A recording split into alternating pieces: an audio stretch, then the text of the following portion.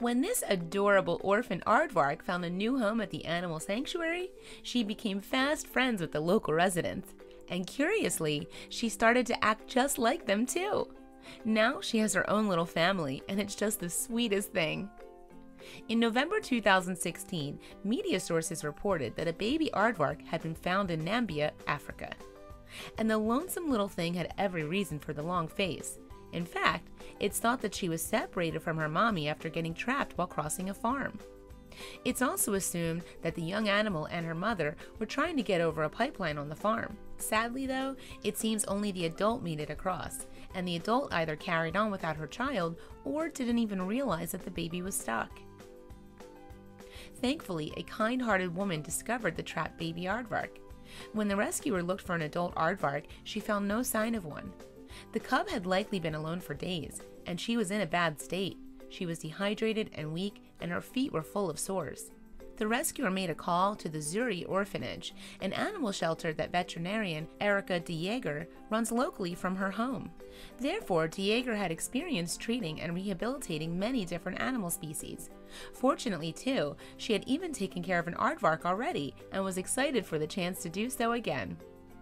I was so happy, DeJager told the dodo. Aardvarks are extremely rare to see in real life, and many people have never seen one.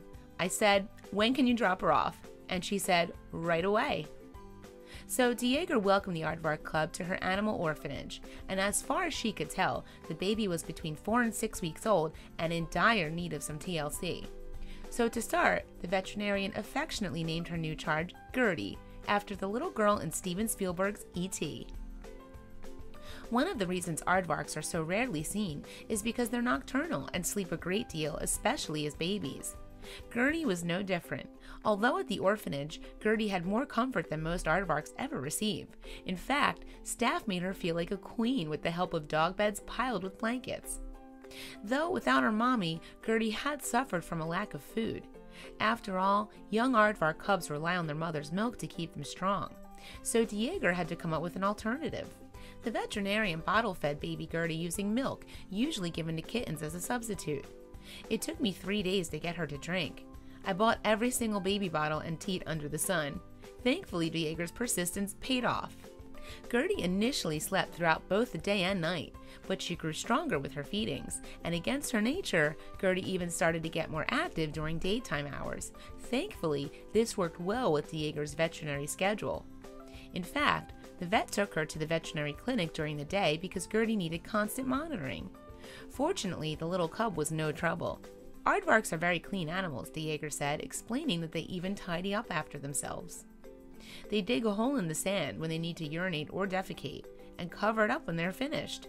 She makes the sound like a baby goat. With time, the little aardvark also started to get more playful. Last night at 12 a.m., she decided it was playtime, DeJager recalled. As I was trying to sleep, she stood up with her little feet on the bed. All I saw were these big ears. Gertie's playfulness even made her some new friends. During DeJager's veterinary visits to a nearby farm, Gertie was introduced to Crummel and Zeddy, the neighbor's Jack Russells. Curiously, both dogs came to accept Gertie as one of the pack. In fact, her connection with Crummel was instant.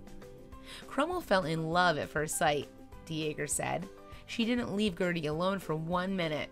She followed her everywhere. Sometimes dogs have a strong motherly instinct and will look after babies. I suspect Crummel is like this. Zeddy was a bit scared of Gertie, but once she realized that Gertie was a great new friend, she was the happiest little puppy. Zeddy will run and fall in front of her like puppies do, DeJager said. Gertie also gets along well with the vet's own dogs. DeJager has two dogs called Spokey and Zara. Gertie will follow Zara and just walk with all the dogs, she said. They will often lick her and she will follow them. DeJager still plans to release Gertie into the wild when she's old enough to look after herself. She's not even eating yet, DeJager explained, but even my staff are sad because she's growing so fast. Gertie won't likely disappear from her life completely when she's released. After all, the vet still gets visits by E.T., the first aardvark that she rescued. For now, DeJager is treasuring every moment she can get with Gertie and just considers herself fortunate to have met her. I love to watch her, she said. She's so beautiful. Aardvarks are so rare, and I feel like a million dollars being so lucky to raise her.